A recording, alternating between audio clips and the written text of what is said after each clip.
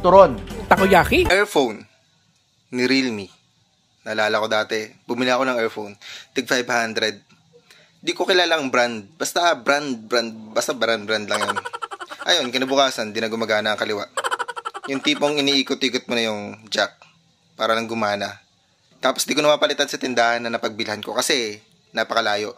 Napadaan lang ako doon, need ko ng bagong earphone. Kasi yung bagong bili kong imitation na earphone, eh sira na. Tapos yung bagong bili ko ulit na bagong earphone, pucho-pucho din pala na 500 ang isa.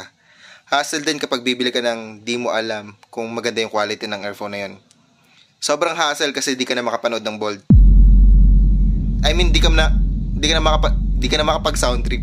Lalo na kung music lover, kang tipong no music, no life. Usually, concern ng mga customer kapag bibili online, mahirap daw ang replacement. Actually, mas madali kasi pinipick up nila ang unit sa bahay nyo para mapalitan. Hindi ikaw yung pupunta sa mismong store para mapalitan. Anyway, ang topic nga pala natin ngayon ay ang earphone na Realme. Na classic design na sure akong comfortable sa tenga mo. Na stylish din ng design kahit black and white lang yan. Na madali namang ibagay sa forma mo. Kung quality naman ng sounds na kaya niyang i-provide ang usapan, di ako mapapahiya dito dahil malaki na yung driver niya. Naka 14.2mm driver. Kung di mo alam kung ano yung driver, siya lang naman yung nagko-convert ng electrical signal into sound.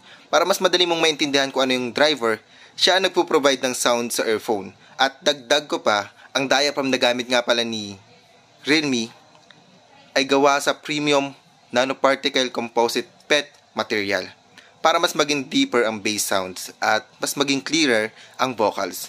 At kung di mo alam kung anong purpose ng diaphragm sa earphone, siya ang nagkikreate ng vibration or nagba-vibrate ang or nagba-vibrate ito para ma-move niya ang mga air at mag-produce ito ng sound waves.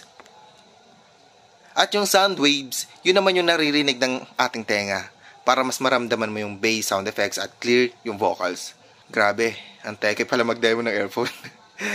at ayun, syempre di mawawala sa earphone ang microphone. Para kapag may katawagan ka, magagamit mo ito. At syempre may kasama na itong strap para hindi magka-bol-bol ang earphone mo kapag ilalagay mo sa bulsa mo. Ang masasabi ko lang, bago ko tapusin ang video ito, kung ikaw yung taong simple lang pumorma, maingat sa gamit, music lover, at syempre, naka-Realme phone para bagay na bagay tong earphone na ito.